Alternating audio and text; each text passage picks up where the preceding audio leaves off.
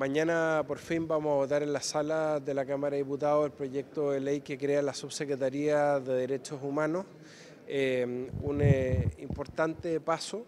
para la reparación a las víctimas de las violaciones a los derechos humanos, como lo ha pedido la propia Carmen Gloria Quintana.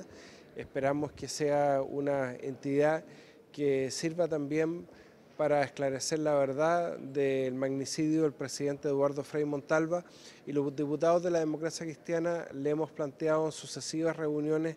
primero al exministro de Defensa Jorge Burgos, al subsecretario Gabriel Gaspar y ahora también a la actual ministra de Justicia Javiera Blanco de poder incorporar dentro de las reparaciones que pueda estudiar esta subsecretaría de Derechos Humanos la situación de los ex soldados conscriptos del año 73 y queremos que expresamente, lo vamos a dejar establecido en la historia fidedigna de la ley, mañana la discusión, que se incorpore a los ex soldados conscriptos del año 73 y 74 dentro de las reparaciones de la Subsecretaría de Derechos Humanos.